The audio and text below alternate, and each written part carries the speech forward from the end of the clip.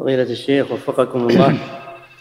ما السبيل الأمثل في التوبة لمن ضيع الصلاة وعمل أعمالا كفرية وأكل حقوق الناس وأموالهم وهو لا يستطيع ردها ولا وهو لا يستطيع ردها؟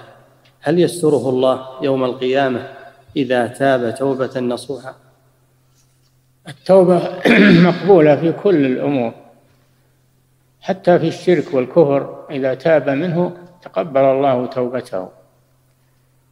وجميع الذنوب الله يقبل التوبة عن عباده وهو الذي يقبل التوبة عن عباده ويعفو عن السيئات ويعلم ما تفعلون.